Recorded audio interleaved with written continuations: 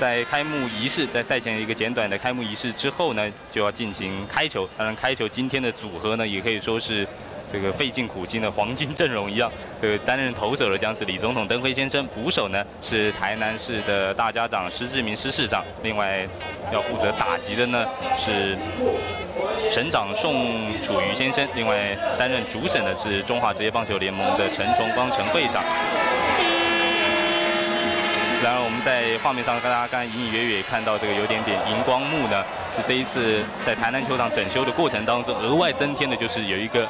这个所有球场当中第一个创举就是有一个荧幕，这个荧幕呢可以打一些字啊等等的一些讯息呢，给现场的观众可以说是一目了然。我想这也是在台湾球场修改的这个整建的过程当中第一创举。我想其他各地的球迷来看的话呢，应该会蛮羡慕的。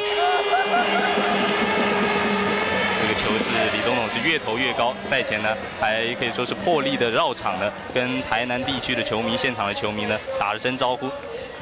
在开球仪式结束之后呢，哇，现场也燃放起了高空烟火。